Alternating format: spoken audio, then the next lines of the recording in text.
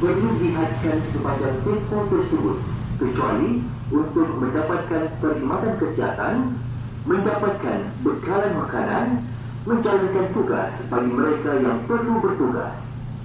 Selain itu adalah lebih baik jika semua berada di rumah untuk mengawal penyebaran virus berbahaya COVID-19 ini.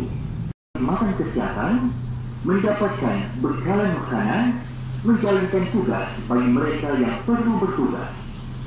Selain itu adalah lebih baik jika semua berada di rumah untuk mengawal penyebaran virus berbahaya COVID-19 ini.